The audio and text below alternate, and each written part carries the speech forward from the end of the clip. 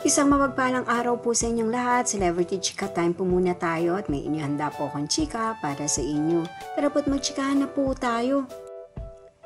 Naku ayan, Asia's multimedia star na si Alden Richards nagsalita tungkol sa bashing at sa mga fan wars. Yes mga maka-celebrity chika time, yan po ang ichichika ko sa inyo na lubos rin pong usap-usapan sa social media ng mga netizens, lalong-lalo na nga po ng mga followers at supporters ni Alden.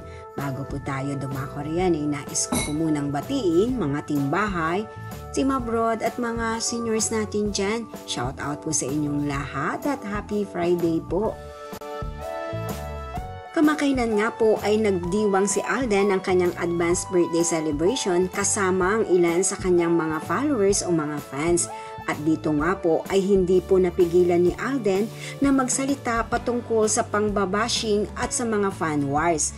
Narito po at panuorin po natin ang mga pinahayag at sinabi po ni Alden tungkol po dito. You know, yung comments and feedbacks and opinions of others, hindi na natin hawak yun eh. Diba? Um, ako, personally, hindi na ako magsasayang ng laway at magsasayang mag-isip na kung anong pwedeng sabihin sa kanila to make them change their minds. Because at the end of the day, uh, I will not always be good enough. And, you know, ganun din yung nararamdaman ng ibang mga artista. Na kahit pa maging presidente ka ng Pilipinas, you will not always be good enough for them. So, ako, ganun lang. Hindi, well, the, the fan war, fan wars, actually, medyo non-stop yan eh, since the industry started. Di ba, parang uh, Sharonian and Vilmanian days pa, pa yan, di ba? May, may ganun na talaga. But right now kasi mas madali yung access to give opinions because of social media.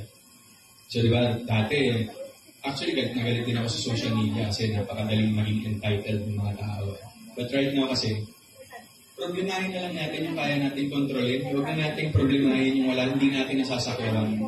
Kasi, guys, trust me, sayang ang umaga, sayang ang buhay niyo sa mga tao niyo. Diba?